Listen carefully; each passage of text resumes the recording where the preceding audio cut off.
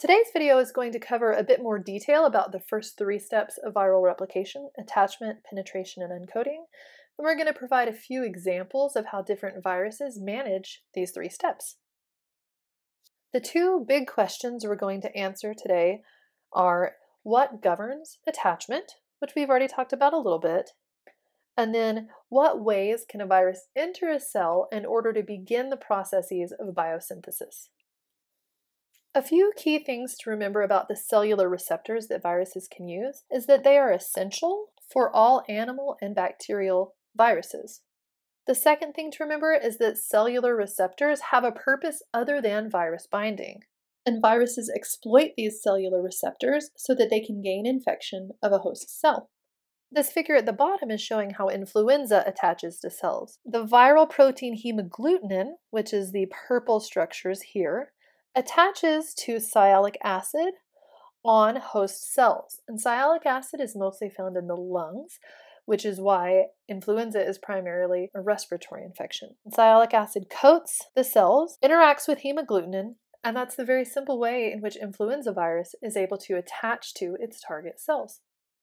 Now, interestingly, different viruses can actually use the same receptor, can share a receptor. For example, two different viruses, adenovirus and Coxsackie virus, use the same receptor. The receptor is called CAR, the cellular protein CAR, which actually stands for Coxsackie and adenovirus receptor. The adenovirus and Coxsackie virus B3 are both human viruses.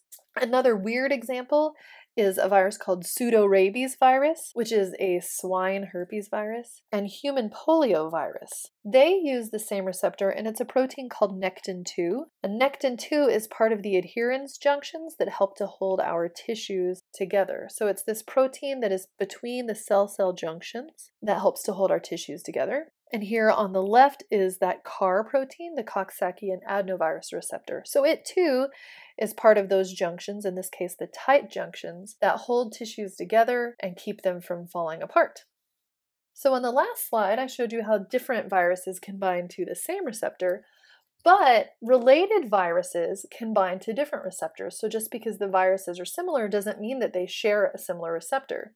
Rhinoviruses which cause the common cold, can bind to at least three different receptors. So, although the viruses are very, very similar, they can use very different receptors.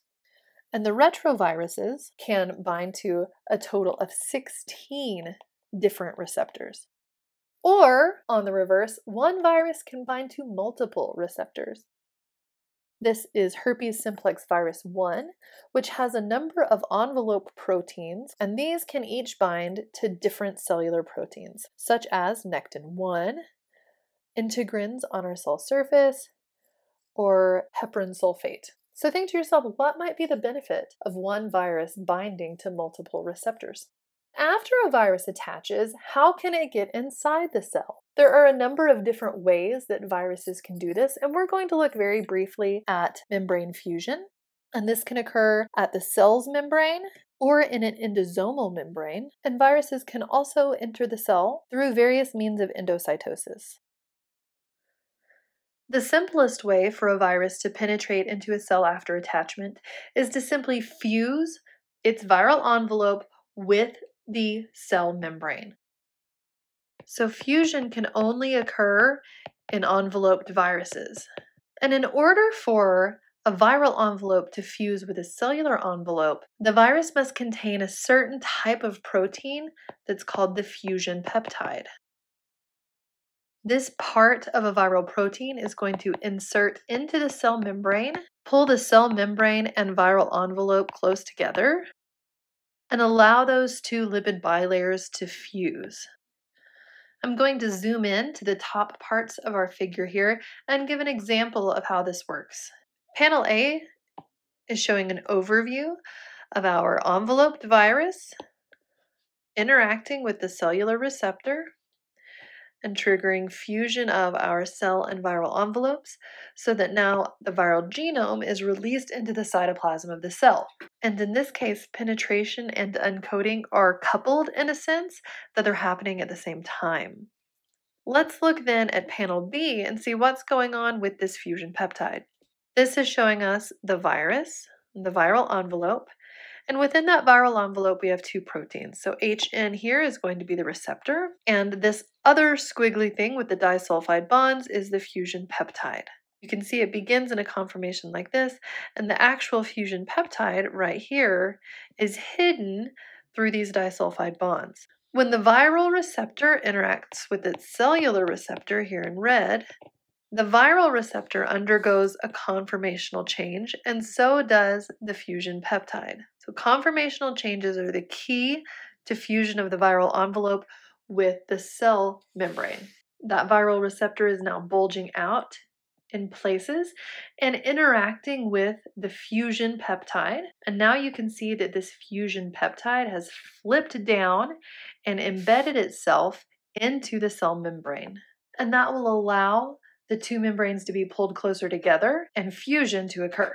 The surface of cells is at a neutral pH, so for this, our conformational change is due to physical interactions. Now, the other membrane at which viruses confuse is the endosomal membrane. And if you recall, endosomes have increasingly acidic pH as they move from engulfing something to fusion with uh, a lysosome. So in this case, the conformational change that happens to our fusion peptide is going to be pH dependent.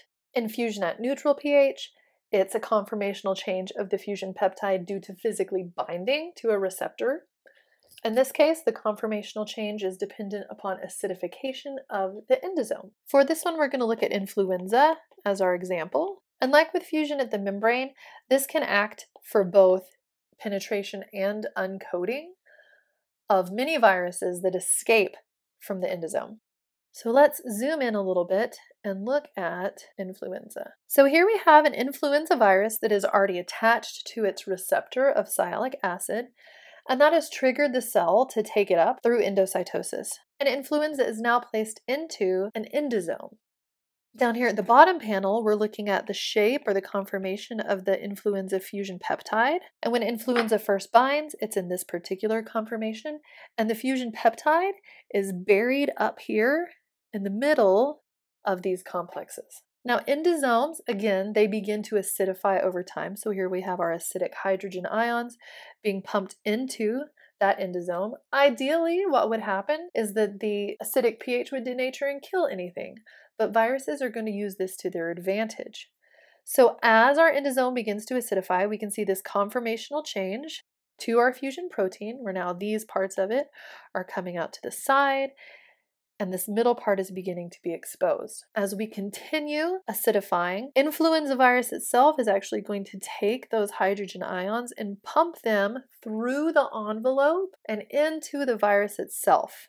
And when this happens, our fusion peptide down here flips out. So it was buried up within and it flipped down and is embedded in the endosomal membrane.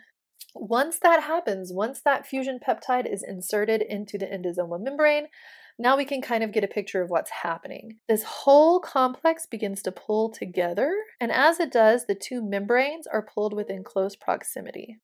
When two membranes get within close proximity, those hydrophobic portions will start to mingle until they merge like so. And now we've essentially created a channel through which the rest of the virus can leave into the cytoplasm. So we can see that really well in the top part of this. This fusion event has occurred. And now here we have all of those viral gene segments released into the cytoplasm and they can begin the step of biosynthesis.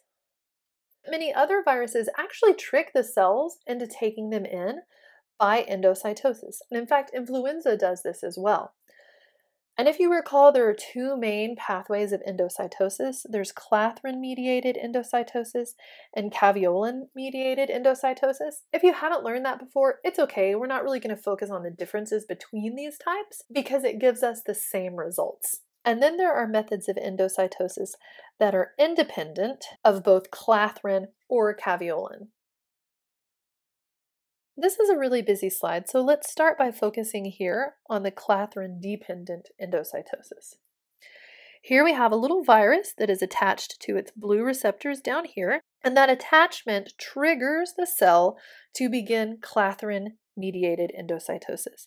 These are our little clathrin molecules. They're called triskelions, and they form this nice vesicle around our virus, which brings our virus into the cell. So this is our step of penetration here. Now that it's in that cell, a few things happen. Our vesicle becomes an early endosome and then a late endosome. During this time, we're having a decrease in the pH. It's becoming more acidic. And here at the bottom, we have fusion of our virus with that endosomal membrane. And finally, uncoating with our viral genome in green here in the cytoplasm of the cell. So attachment, penetration, and then uncoating. The same thing occurs with caveolin-dependent endocytosis, our virus attaches to whatever its receptor is. This triggers receptor mediated endocytosis, and now our virus is in some sort of vesicle there in the cell. This is the penetration step. And eventually, after a number of steps, we'll have our uncoated virus way down here at the bottom of our slide that we can't see. And again, the same thing with clathrin and caveolin independent endocytosis. We have attachment, penetration, where we're now in our endosome of some sort, and eventually we will see uncoating and release of the viral genome into the cell. Now, any of these methods of endocytosis are independent of whether an envelope is present. So this can happen in both naked and enveloped viruses. So we have a few examples of our enveloped viruses here and here and even here. And our naked viruses, those that lack envelopes, would be shown by this one here. Most DNA viruses, like adenovirus, the herpes viruses, and human papillomavirus, have to get their genome into the nucleus for biosynthesis to occur. So, how do they get those genomes all the way into the nucleus, which, as you know, is a double membrane structure and very well protected by eukaryotic cells? There are four different methods that can be used. Despite being an RNA virus, influenza does actually carry out a lot of its biosynthesis in the nucleus. And for this, each of the gene segments enters through the nuclear pore complex just like cellular proteins and cellular structures do. The herpes viruses, which are a DNA virus, dock at the nuclear pore complex, which I'm just going to write as NPC, the nuclear pore complex. And then the genome gets deposited genome travels through that complex and into the nucleus. And you can see that here the viral genome getting into the nucleus and the viral capsid staying on the outside. Adenovirus, another DNA virus, it's kind of similar to herpes, where it docks at the nuclear pore complex and the genome travels through. But in this case, the viral capsid falls apart while the genome is traveling. The sort of dashed lines on the capsid indicate that it's falling apart, but the genome is still traveling through into the nucleus. Our very last one, the parvoviruses. These are single stranded DNA viruses, and these are so super tiny that they just move through the nuclear membrane on their own and then they uncoat in the nucleus. So here's our tiny little parvoviruses moving into the nucleus on their own. They're so small, and that viral DNA is being released right there into the nucleus. All right, let's recap really quickly. For attachment, all viruses attach to some sort of structure on the cell that acts as a receptor. Penetration, getting the virus into the cell, can occur by membrane fusion. This can occur at the cell membrane or the endosomal membrane, or viruses can get into the cells through endocytosis. Uncoating them can be coupled to penetration in the cases of membrane fusion or it can occur after endocytosis has happened, when a virus may escape from the endosome on its own, or uncoating can occur at the nucleus when the viral capsid travels to the nucleus and then releases the genome into the nucleus for biosynthesis to occur.